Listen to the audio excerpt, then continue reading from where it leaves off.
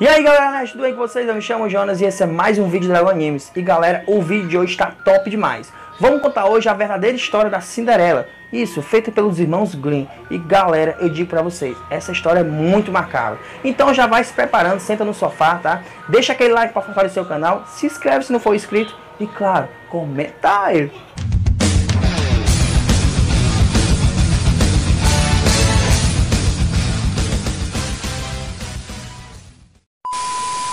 Tudo começa quando a esposa de um homem muito rico está para falecer, né? Que ela estava doente e estava para falecer. Então, antes de ela falecer, ela chamou a sua única filha e contou para sua filha: Filha, é, eu quero que você continue sendo essa pessoa bela que você é. Continue sendo uma pessoa boa com todas as pessoas e seja amorosa com todas elas. Que lá do céu eu estarei olhando para você. Falando essas palavras, a mãe dessa menina acabou falecendo. E passaram vários anos e anos o pai dela acabou encontrando outra mulher e se casou. E essa mulher tinha duas filhas. Eram muito belas as duas, né? Bem bonitas. Porém, elas eram muito invejosas, tanto elas duas como a própria mãe. Então, se uniu toda a família, né? No caso, ela seria a madrasta da nossa Cinderela, conhecida na história da Disney. Até aí tá muito parecido, mas vocês vão ver que vai dar uma distorcida. Quando as duas encontraram a Cinderela, já foi logo dizendo: Quem é essa? Eu não gostei dela ela vai ter que fazer tudo pra gente, né, mamãe? E a mãe dela simplesmente disse: Sim, ela vai fazer tudo pra gente. Tragam lá um vestido bem feio que vocês têm. Então elas pegaram um vestido bem velho, sujo, e obrigaram a Cinderela a vestir o vestido, colocaram tamancos nela, é, de madeira, e era bem pesado, né? Pra ela fazer as coisas. A pobre da Cinderela começava a trabalhar de madrugada, né? Bem cedo, assim, umas duas da manhã, e até mais de meia-noite. Ela cansada acabava dormindo no fogão, né? Assim, em cima do fogão, às vezes em cima da mesa, outras vezes no chão da cozinha. Ela não tinha cama, era sofrimento, ela, ela era toda suja. O pai dela, é, assim, em vez de ajudar ela, simplesmente concordava com tudo que a madrasta pedia. É, como posso dizer, era um pai assim horrível. Todos os dias a Cinderela ia lá no túmulo da sua mãe, ela rezava pela sua mãe, né? Chorava bastante e voltava para casa e tratava muito bem as suas irmãs e a sua madrasta, né? Certo dia, o pai de Cinderela falou assim: é, Eu vou à cidade, né? E vocês querem algum presente, alguma coisa que possa comprar para vocês? Então a filha mais velha falou: Eu quero colares, eu quero colar, eu quero é, pedras preciosas, eu quero joias. Tá certo, eu compro. E a outra falou que queria é, vestidos bem bonitos, né? Todo tipo de vestido. Então ele pegou e falou assim Cinderela: E você, minha filha? O que, que você quer que eu traga para você? Ela simplesmente disse: Pai, quando você estiver vindo, o primeiro galho que bater no seu chapéu, você pode trazer para mim. Porque o pai ele usava um chapéu, né? Então ele foi para a cidade, é, comprou as joias, comprou os vestidos e na volta um galho de uma árvore bateu, né? Não, no chapéu dele. Então ele parou a carruagem, cortou esse galho e trouxe para casa. Chegou em casa, ele entregou, né, os presentes para as duas meninas e deu o um pedaço de, de galho para a Cinderela. A Cinderela pegou esse galho, levou lá pro túmulo da sua mãe, enterrou ele e começou a chorar, chorar, chorar, e as suas lágrimas ao triscar no túmulo da sua mãe e nesse galho se tornou uma árvore imensa e bonita, muito bela. E vários passarinhos subiram lá. E alguns pássaros falavam com ela, dizendo: Calma, vai dar tudo certo para você. Logo a gente vai lhe ajudar bastante. Certo dia, o rei decidiu fazer um baile de três dias para poder casar o seu filho, né? Que no caso era o príncipe para poder achar a verdadeira esposa, a mais bela, enfim, aquele gostasse bastante do baile. Então ele começou a divulgar em toda a cidade é, cartazes sobre o baile. Todo mundo tinha que ir, não importava se era pobre, rico, mendigo, milionário, todo mundo tinha que ir para essa festa. Então as duas irmãs da Cinderela falaram: Ó oh, Cinderela, você vai ter que nos vestir, vai ter que pintar o nosso cabelo, pintar as nossas unhas, vai ter que nos arrumar todinho para nós irmos para o baile. E a Cinderela simplesmente ficou calada, chorando e começou a fazer tudo por elas, pentear o cabelo delas, vestir elas, pintar as unhas delas, chorando bastante. Cara, isso é muita humilhação. Logo depois que ela terminou de arrumar as duas irmãs, correu lá para sua madrasta e falou: Madrasta, eu posso ir para esse baile? E a madrasta falou assim: Claro que você pode ir, mas você vai ter que fazer um teste primeiro. E ela: Qual? Simples.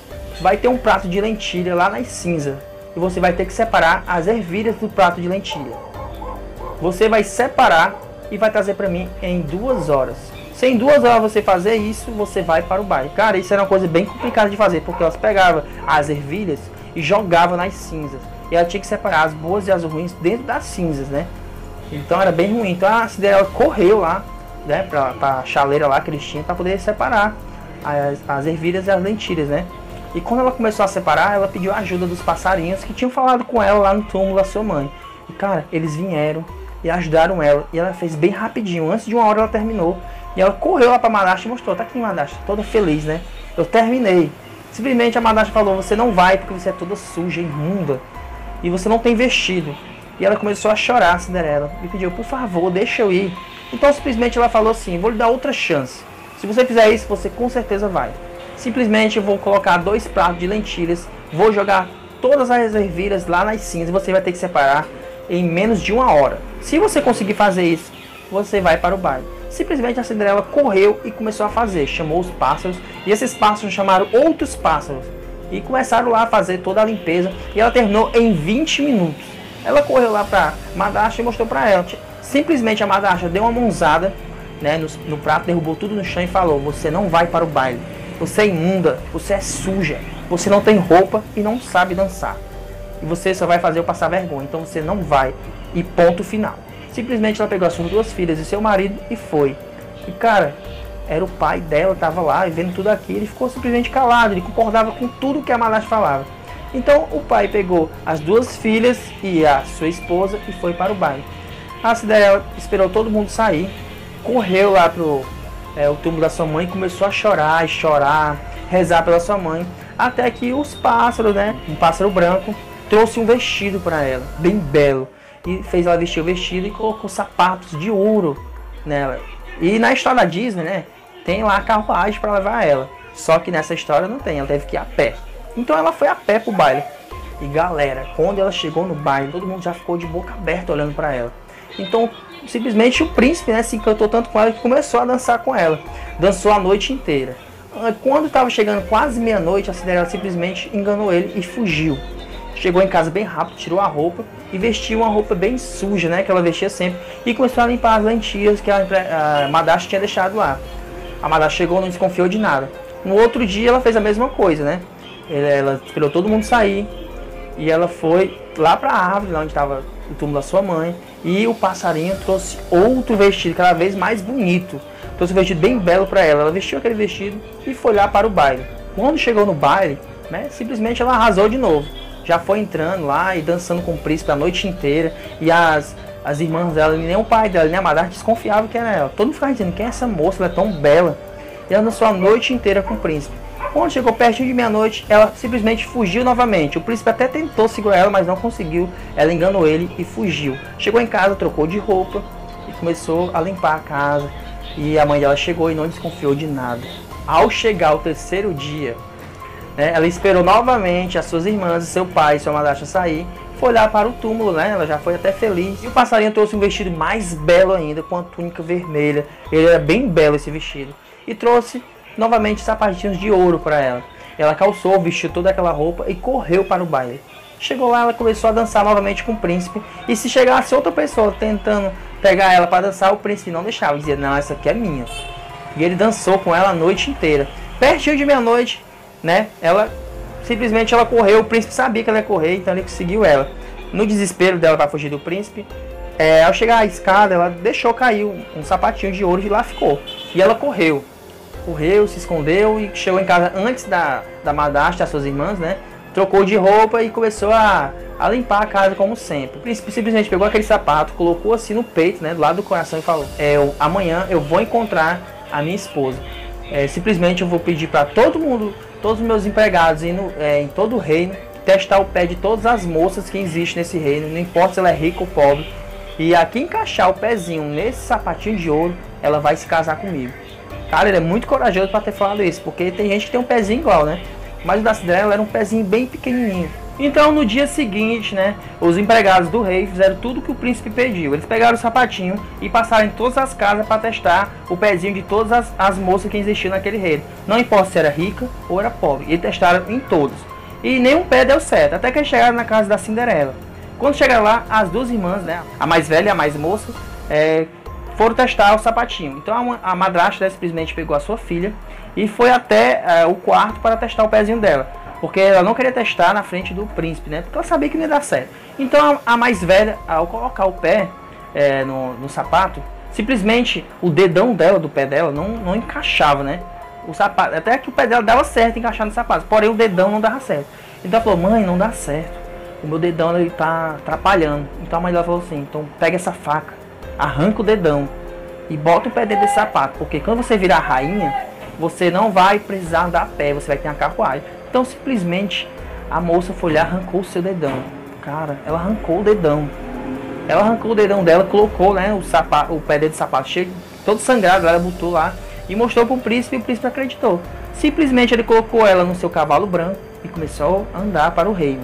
Quando eles passaram pertinho lá do túmulo da, da mãe da Cinderela, dois passarinhos começaram a cantar, né?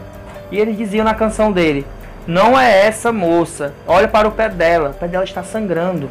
O príncipe ouviu aquilo, olhou para o pé da moça e viu que estava sangrando. Simplesmente ele voltou para casa e ele pediu para a outra moça, no caso a mais nova, testar seu pé no sapato. A mãe, desesperada, pegou a sua filha, correu lá pro quarto e foi testar o pé dela. Ah, o pé da, da mais nova até que entrou, né? Os dedinhos, né? Deu, deu certo o dedo dela. Só que o calcanhar dela não, não dava certo. O calcanhar dela atrapalhava o pé dela entrar completamente no sapato. Então simplesmente a mãe dela pegou a faca e falou: Filha, arranca teu calcanhar, corta um pedaço dele e bota dentro desse sapato e pronto, você vai virar rainha. E quando você virar rainha, você não vai precisar andar a pé. Vai ter uma carruagem para você. Então a filha obedeceu sua mãe, pegou a faca, né, sentindo muita dor mesmo e cortou o seu calcanhar. E sentindo dor, ela se disfarçou e mostrou para o príncipe que era mesmo o pé dela. E como era só o calcanhar, era bem mais fácil de disfarçar, né, que a outra foi o dedão, né? Então simplesmente ela subiu no cavalo branco com o príncipe e foi. No caminho os passarinhos começaram a cantar novamente. Não é essa moça, olha para o sapato dela, está sangrando novamente. O príncipe escutou, olhou para o sapato e viu que estava sangrando. Então ele voltou para aquela casa e já foi assim, é, bem, com um pouco de raiva, já falou: Ó, eu, eu deveria mandar prender vocês. Vocês estão tentando me enganar.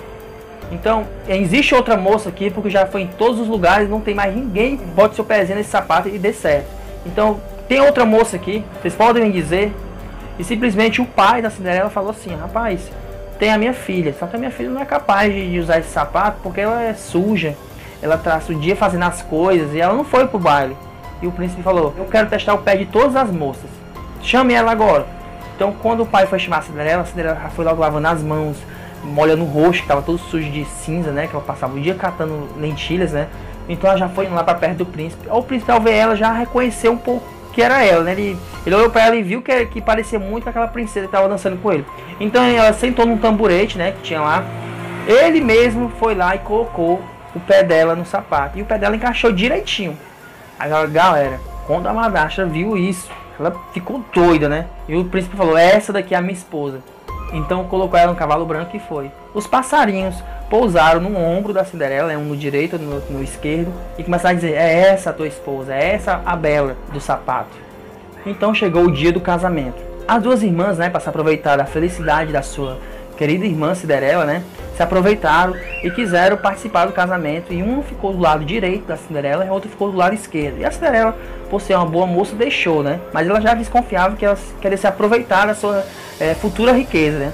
Então o que aconteceu? Na, na igreja, né, durante a cerimônia, os dois passarinhos que cantavam, eles pousaram é, em cima das duas irmãs e um arrancou o olho direito de uma e o outro arrancou o olho esquerdo da outra. Galera, bem medonho, né? E quando elas, elas iam saindo da igreja, eles pousaram nelas novamente e arrancaram os outros olhos que estavam faltando. E elas ficaram completamente cegas. E elas tiveram que ver uma, uma vida miserável, pedindo esmola e cega por o resto da vida. E assim a Cinderela teve uma vida, como diz toda a história da Disney, feliz para sempre, né? E ela casou com o príncipe. E essa é a história ori original dos irmãos Green, que foi adaptada para a Disney e fez a história da, da Cinderela que todo mundo conhece. Mas ambas as histórias são muito boas, né? Então, galera, já vai deixando aquele like para fortalecer o canal, se inscreve se você não for inscrito, tá? Comenta, compartilha e, galera, assiste até o final que vocês vão gostar do vídeo, porque tem gente que não tá assistindo tudo, então assiste, ajuda o canal e muito obrigado por todos vocês que estão se inscrevendo, tá, gente? Até a próxima.